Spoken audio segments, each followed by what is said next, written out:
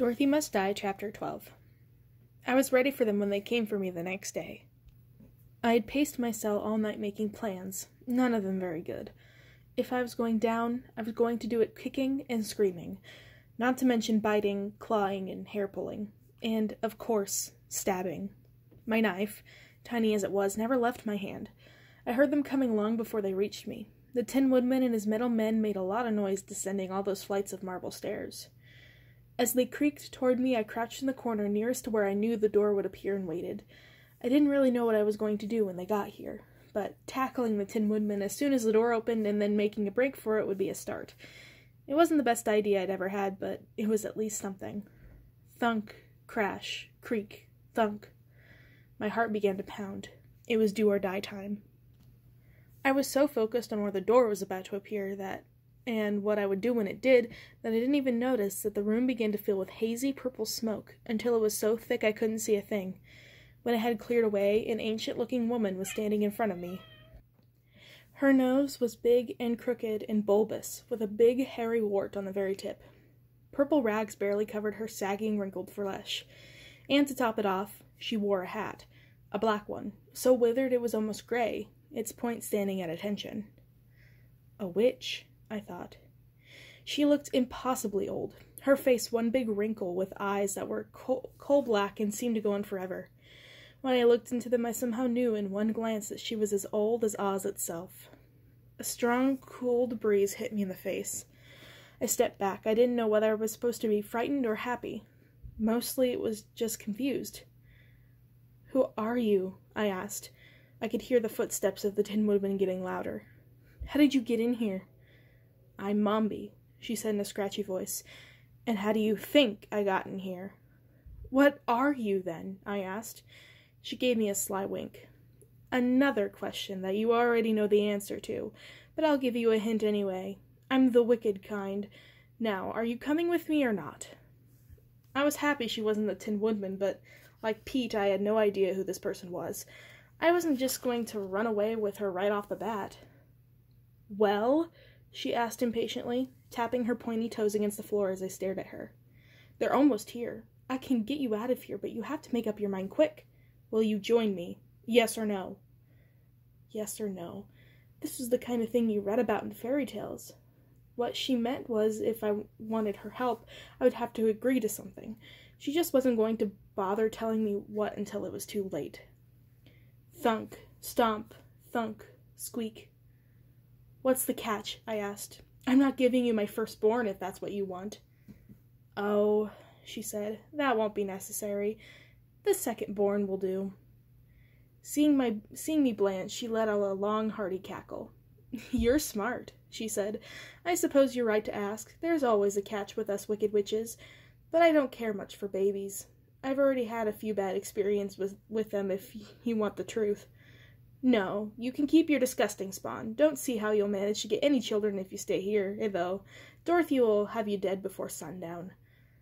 We heard the key begin to turn in the lock outside. Mombi sighed as the door in the wall began to appear. Girls your age, she said, shaking her head, always takes you forever to get out of the house. Now we're going to have to fight. She backed into the corner and squeezed her body so tightly against the wall that it almost looked like she was sinking right into it. At least I see you have a knife ready. She nodded to my hand where I was clutching my weapon so hard that I thought I might be starting to lose circulation.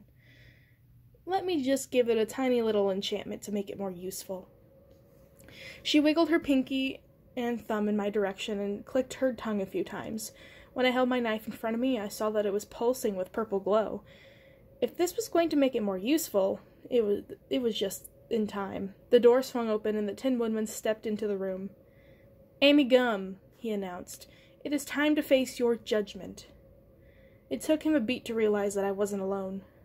Guards, he shouted, seize the girl and the witch. He fanned the blades of his hands out in front of him as he lunged for my new ally, his crew rushing into the cell behind him. Sword Arm was in front of me, advancing with sword outstretched, backing me in the corner. I stepped out of her way, ducked under her, and thrust my kitchen knife toward her chest, just as she pivoted to face me. I missed, but I was surprised at how close I'd come, at how the weight and heft of the knife felt so natural. Suddenly I knew exactly when to thrust and when to parry. when to when to go high and when to go low and when to twist away. I felt like I could do some real damage with this thing. So I sliced and diced and fainted as the tin soldiers all scrambled to grab me. A line of bright red blossomed across Sword Arm's cheek as I connected. I pulled back at the sight of it, but the knife urged me to forward again. I gave the I gave the head onto the bicycle two flat tires in no time, sending him sprawling into the side of the floor, where he struggled to pull himself upright with his weird handlebar arms. When the one with the panel covering his mouth, the one who had killed Indigo, grabbed my arm and twisted it behind my back, I pushed against him with my free arm and wrig- wriggled loose. He put out his arms in an almost shrug, offering himself up for another attempt, like he was daring me to fail at checking him again. When he charged at me, this time crouching low to deliver some kind of deadly headbutt, I ducked out of the way at the mo- last moment, but he spun quickly around and caught me in the back, slamming me to the ground. I lay motionless for a second, the wind knocked out of me. He nudged me with his foot, roughly rolling me over, grabbing me by the neck. He hauled me by my feet and pulled me close to him, so close that I could tell by his eyes, if not his mouth panel, that he was smirking. I was over this. I had been through too much. I had seen too much. I had been angry before. At Madison, at my mom, but I had never felt anything like this. I could feel myself seize up, every muscle contracting at once gripped by what Dorothy had done to Indigo, by what she planned for me, but instead of stuffing it down or blurting out something stupid, I struck. I jabbed the blade of Mombi's knife into the thing's eye socket. It was for Indigo. It was for me, too. Blood spurted everywhere as he slumped against the wall and collapsed. I looked down at the knife, at the Rorschach, Rorschach pattern of blood spattered on the ground.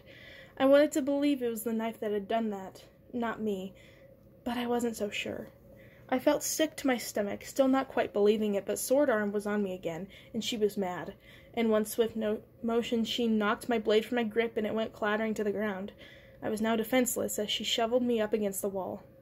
I pinched with, punched with my fist, but the hard metal of her arm hurt me more than my punches hurt her, and I screamed through clenched teeth. She raised the shiny blade of her deadly arm over her head, and I braced myself. Mombi! I yelled. Without dropping her own attack on the Tin Woodman, Mombi reached her free hand over her robes again and pulled on, out what looked like a ball of purple yarn. She hurled it in my direction, and as it looped through the air, began to unspool, its threads becoming indistinct, eh, in, indistinct and unfocused, twisting and curling in a hundred different directions. When the ball hit Sword Arm, it instantly began to wrap itself around her, covering in stick, sticky purple cobwebs. She struggled against it, but her weapon was stru- stuck in midair. Mombi's magic had brought bought me some time. I can hold them for a few seconds, Amy, Mombi shrieked from the other side of the room. Now, will you join us or not? I knew I had no other choice. Done, I cried. Mombi reached out a hand. I dove across the room for it and grabbed on tight. As I touched her, the purple rags began to billow out from under her body. The rags curled around the two of us, enveloping us in a cocoon as Tin Woodman and his henchmen faded away along with the room itself. I was smoke now, too. Welcome to the Revolutionary Order of the Wicked, Amy, Mombi hissed as we disappeared.